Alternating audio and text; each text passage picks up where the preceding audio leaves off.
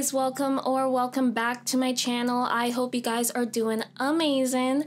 So today I was drawing in my notebook and I decided, hey, let me start recording and show you guys what I'm drawing. So pretty much I'm just drawing expressions because I've noticed in my art that I'm drawing the typical Pinterest girls that have like the straight face and like an emotionless look to them, which is nice. It could look cool. However, it after a while it does look boring and repetitive. And I was watching this video by this artist I follow on Instagram. I forgot his name exactly and I don't want to butcher it, so I'll just have a thumbnail of his video up on the screen somewhere and have him linked down below. But pretty much he was talking about how people need to stop drawing the typical good looking Pinterest girls because their expressions are just boring and it can make your piece just look uninteresting. So I decided to practice drawing expressions because it's not something that I've ever really done before. I kind of just look at reference photos, which are the typical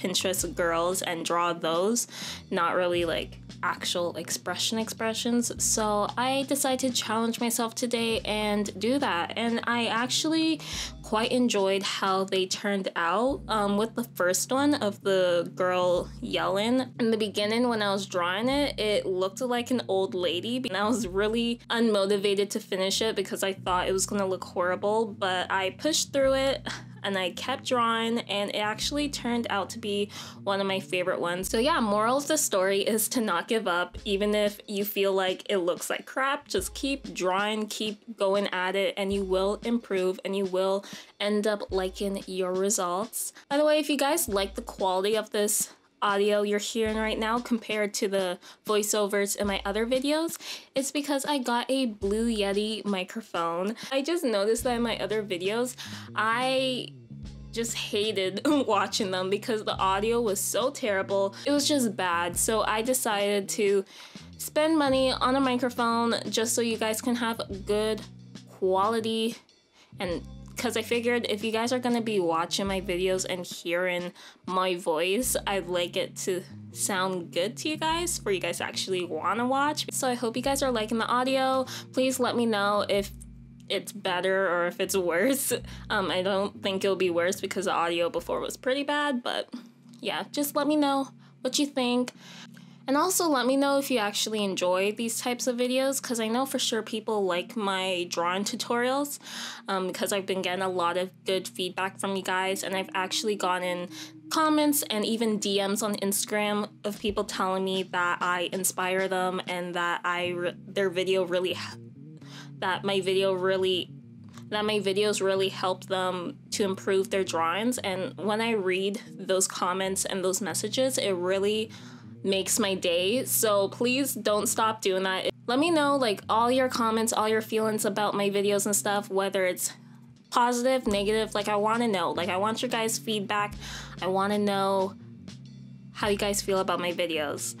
So right now I'm just going in with a white charcoal pencil just to add some highlights to the drawings. This is why I really like drawing on this gray paper notebook because you can add highlights and shadows um, by using like a black charcoal pencil really easily and it just makes your drawings pop even more.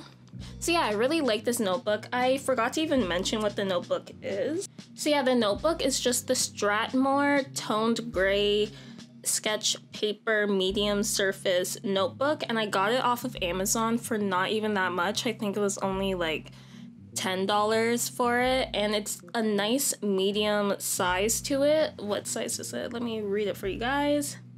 So it comes with 50 sheets and it's 5 by um 5.5 by 8.5, which I really like. I don't I'm not really a huge fan of drawing on letter size paper for some reason. Like I either like the notebook that I'm drawing on to be smaller than a letter size or bigger. I don't know why. I just feel like the shape of letter size paper, which is the typical um, 8.5 by 11 just feels weird to me and I don't know why. Maybe I'm just a weirdo, but yeah, that's just how I feel about that.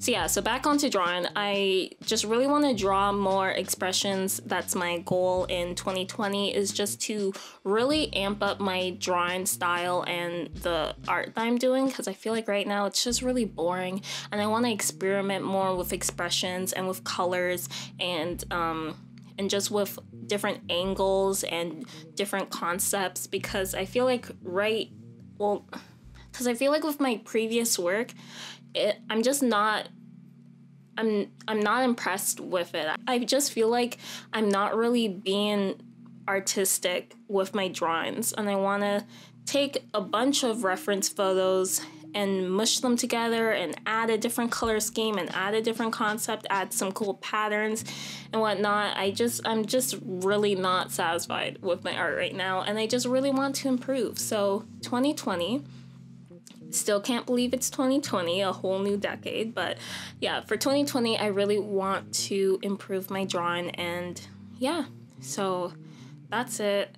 I created a vision board of all my goals for 2020, and I'm actually debating on doing a video on vision boards, what they are, how they help, and like how to make one. Because um, right now I have my vision board right above my desk and honestly looking at it every day it, it just pushes me to try to be better and to reach those goals i already accomplished one of my goals for 2020 which was to improve my desk setup because before I didn't really have a desk in my room. I had a vanity, like a little small vanity table that I would do um, my schoolwork and makeup and stuff at, but it just wasn't big enough for me to actually like have a monitor and have uh, my laptop and drawing tablet and stuff. I just felt really restricted with the things I can do on it. So I went to IKEA, I got a big old desk, I got rid of my vanity and I have a monitor now, which is super cool. It's the BenQ um, 27 inch designer one i forgot the actual name. Um, and yeah it's a really nice monitor. So right now i have my laptop in front of me i have my monitor i have my drawing tablet on the other side and my microphone right in front of me doing this voiceover and it's just really cool and i just feel so happy to finally have a nice desk setup. And you guys will be seeing it soon because as i'm going to be doing a desk tour video just to show you guys how it looks my new setup and also i even put LED LED lights around um, underneath the desk. So at night I can turn on the lights and it's just a nice vibe and I really enjoy it. So stay tuned for that video. I also have a how to draw lips video coming up soon. I at first wasn't satisfied with how it was looking, but I rewatched the clips and I decided even though it's not my best lips that I've drawn, I should still probably post it because it still could be helpful for someone out there. And also, I feel like I need to start showing my failed art more because I feel as if people will just see the good end results and think that they're bad because all these other artists are just amazing and at doing art and never have bad pieces. But we do. We draw a lot of crappy stuff that we're not impressed with but we don't show it because we only want to show the best, which we should really stop doing. So I feel like that really discourages new artists because I know when I first started drawing and I was seeing my favorite artists on Instagram's work, I just felt really discouraged that I wasn't as good as them. And what I failed to realize, but I know now is that they had to have drawn like thousands of ugly drawings that they thought were terrible to be able to draw the way they do now. This is the end results of all the drawings. I'm pretty satisfied with them. I'm gonna keep on drawing more faces and expressions. And yeah, so I hope you guys enjoyed this video. If you did, don't forget to like, comment, and subscribe. And I will see you guys in my next one. Bye guys.